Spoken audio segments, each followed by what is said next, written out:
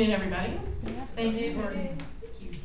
Um, thanks for taking away uh, your time from full day TV analysis of the big game. Um, let me say a special thank you to Priscilla for bringing the purple. Um, someone needed to do it. Sorry, I had to. I know. I'm just saying we're here. Somebody needed to bring something related to the Ravens, and Priscilla did it. Thank you. And they're delicious delicious donuts.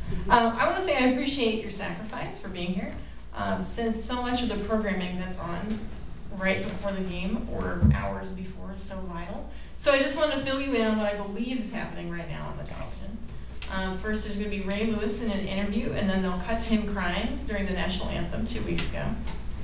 Uh, then there'll be a half-hour in-depth personal biography of the 49ers quarterback who has the arm tattoos. Uh, then there will be 17 mentions of the fact that the two teams' coaches are brothers. And then finally, two quick photographs of Joe Flacco. So, do you guys feel like you're there?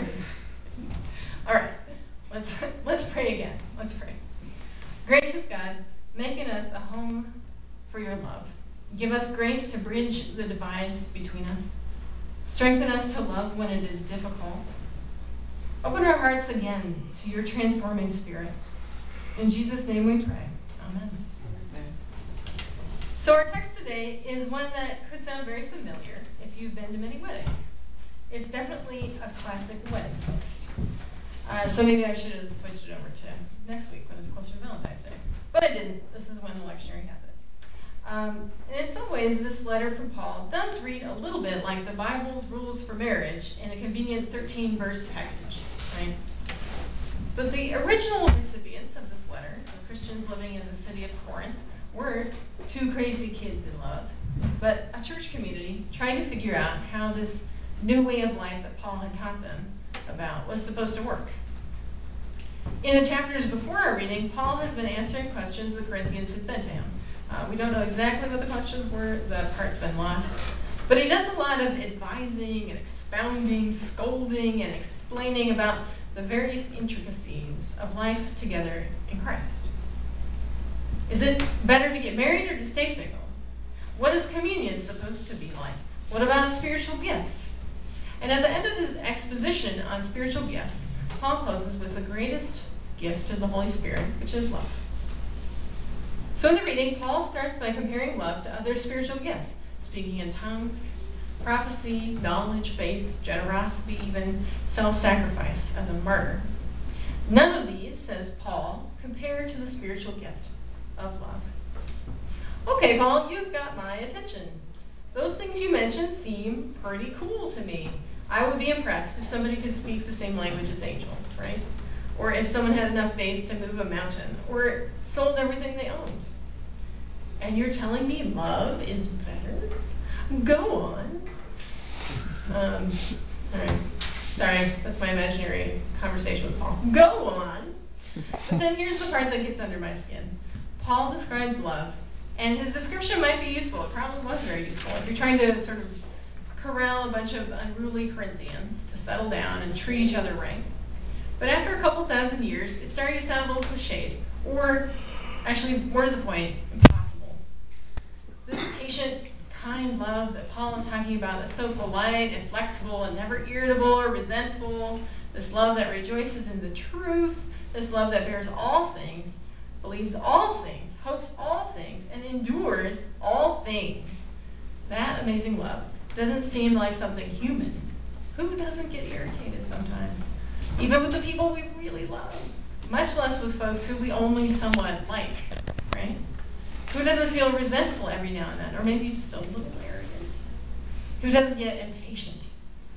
Let the person who has never honked at the car in front of them at the light when it turns green and they still haven't gone let that person be the one to cast the first stone. and the thing is that, well, I haven't, when I was driving the Buick, I didn't because I didn't have a horn on my car, so maybe. that um, doesn't count. That doesn't count, right. If you don't have a horn, it doesn't count. All right. And the thing is that, in some ways, this love that Paul describes is not human. It is supernatural. It is a spiritual gift something that comes from God, not from our own determination. Love that draws only on our human strengths and emotions has certain limitations. We may hear these words read at weddings. We may hear love never ends. And as we look at the beautiful bridal dress and all the flowers and the few bows, and be reading the words, we're reading the words as a blessing, as instructions full of hope with our fingers crossed, but not as a description for certain of what is to come. I'm not trying to be pessimistic, but just to point out that human love, as we know, has its limitations. Sometimes love, or what we think of as love anyway, does come to an end. But Paul says love never ends. This is a gift from God that outlasts everything else. Of all the spiritual gifts, love is the one that lasts. Prophecies get fulfilled and set aside. Languages change or pass out of existence. The thing you thought you knew gets turned over by the next wave of knowledge. Nothing stays the same. But love is complete and will persist even into the next world. Now, I'll say I don't always think of Paul as a mystic. His writing seems so logical. It seems logical anyway. It seems so explanatory, so complicated, um, so intellectual, that it's hard for me to imagine his, him as someone who dreams dreams and visions visions. But really, what he's telling us about love is mystical.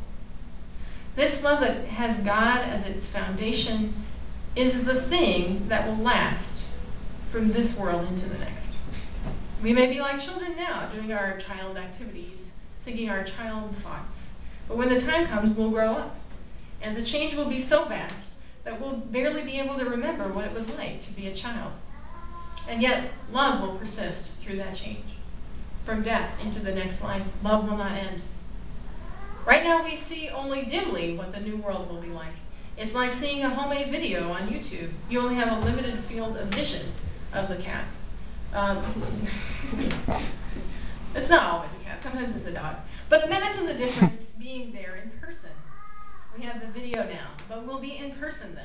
And the thing we'll see most clearly is love. Love does not end, says Paul. God's love is the thing that matters. God's love is the thing that persists. We come into this world alone and we leave it alone. Except that God is with us the whole time. Everything else in life is changed. So, what do we do with this? What does it mean that love is a spiritual gift? What it means is that we should treat love like a gift. Give thanks for it and treat it well, cultivate it. Give thanks for the moments and the days that God gives us the strength to live and act in love. Give thanks for the people we meet who surprise us or who reassure us with their love. I think a quote from another letter writer in the New Testament is order, in order here. In 1 John, the writer John tells his community, Beloved, let us love one another, because love is from God.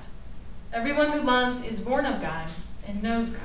Whoever does not love does not know God, for God is love. God is the foundation of love because God is love. Let's listen to Paul's letter to the Corinthians one more time but with an important substitution. If I speak in the tongues of mortals and of angels, but do not have God, I am a noisy gong or a clanging cymbal. And if I have prophetic powers and understand all mysteries and all knowledge, and if I have all faith so as to remove mountains, but do not have God, I am nothing. If I give away all my possessions, and if I hand over my body so that I may boast, but do not have God. I gain nothing. God is patient. God is kind. God is not envious or boastful or arrogant or rude. God does not insist on her own way. God is not irritable or resentful. God does not rejoice in wrongdoing, but rejoices in the truth. God bears all things, believes all things, hopes all things, endures all things. God never ends. May God's Spirit and God's love abound in us through Christ our Lord. Amen. So let's have some time for reflection, and then we'll move into community conversation.